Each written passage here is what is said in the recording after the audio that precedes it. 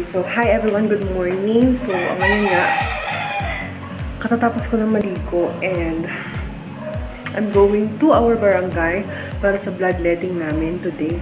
Bloodletting program which is every 4 months na nangyayari sa barangay namin. So, ayun na nga. And welcome to barangay! Oh my God! Barangay! Barani! Yes, Barani. So, ayun na guys. Pupunta na ako doon. You go get my memory card. Pupunta na ako ngayon doon for my vlog. So, wait lang guys.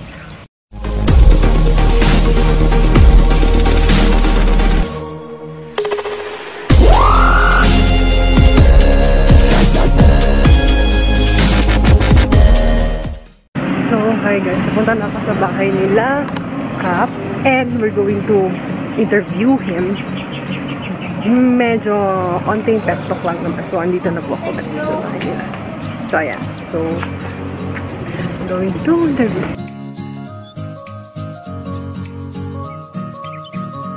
Well, nandito tayo. Meron po tayong interview kay Barangay Captain ng Barani for this bloodletting. So, let's go.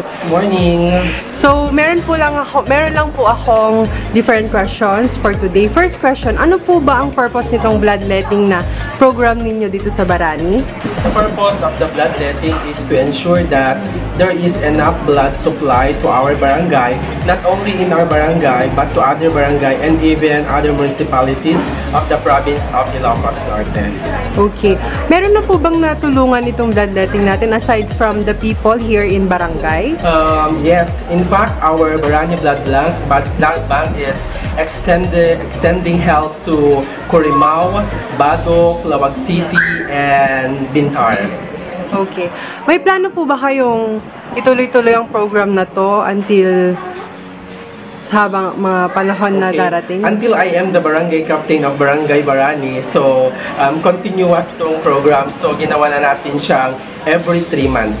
Okay. Meron po ba kayong message sa mga nanonood ngayon? Okay, um, to all the viewers, I, I would like to thank to all the um, blood donors who supported and continuing and to continue support the bloodletting program of Barangay Barani.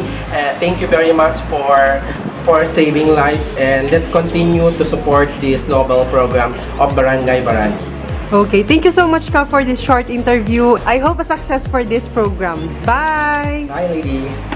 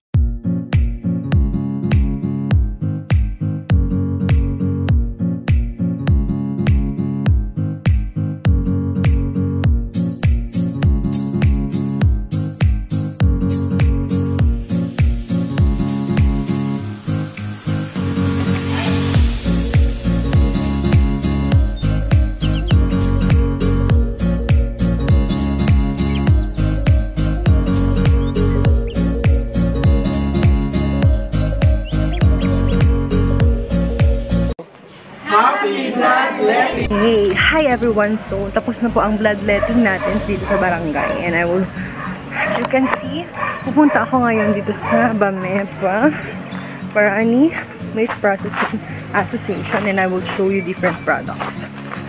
And, pag kayo, masarap to.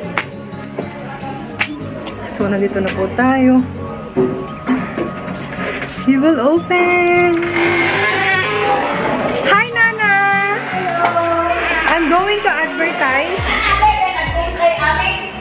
No, tita. No, no.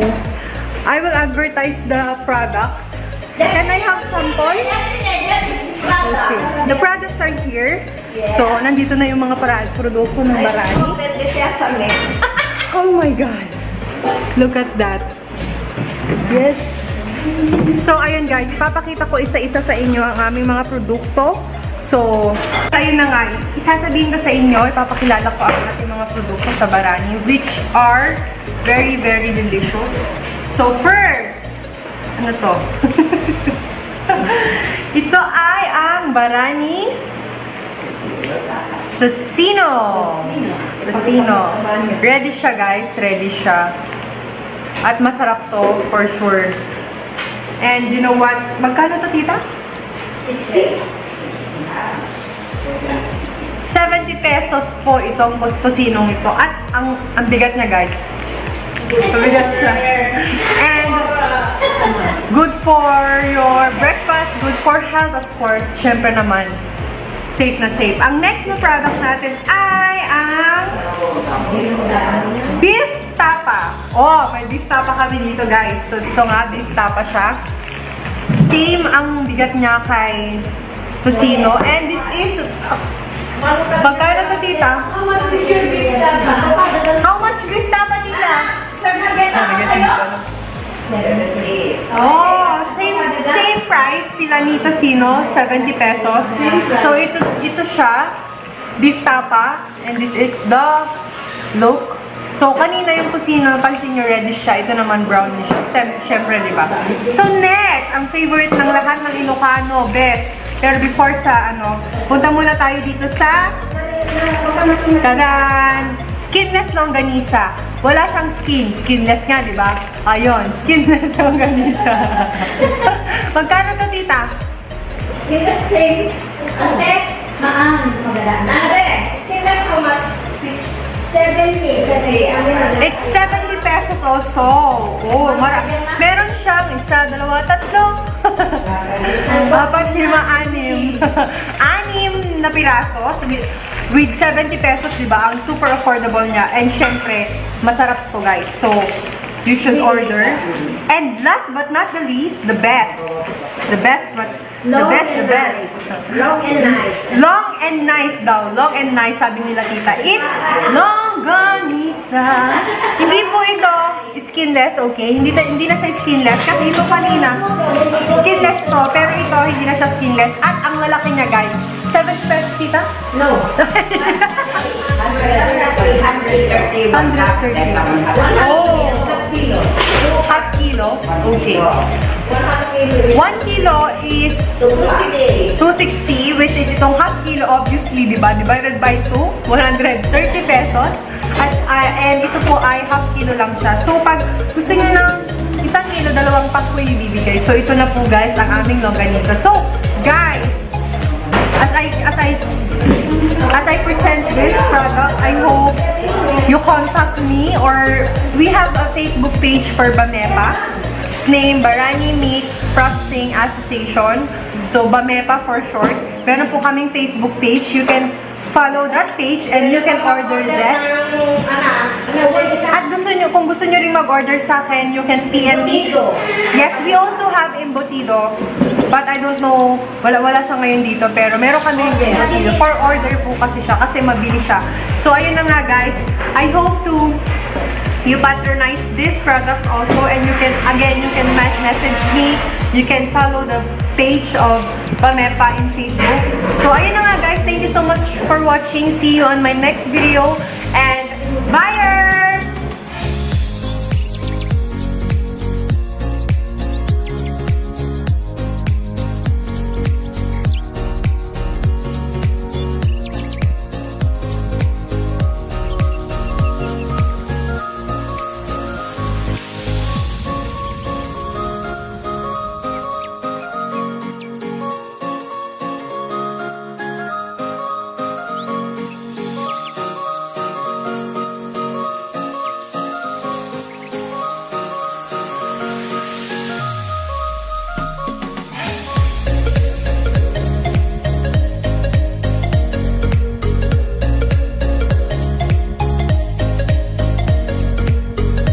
So, ayun na nga. Tapos na po ang bloodletting. So, I'm going home na because I need to finish this editing for this vlog. And I hope to see you again on my next video for another activity or I don't know. But, ayun na nga guys. See you on my next video. Thank you for watching. Buyers!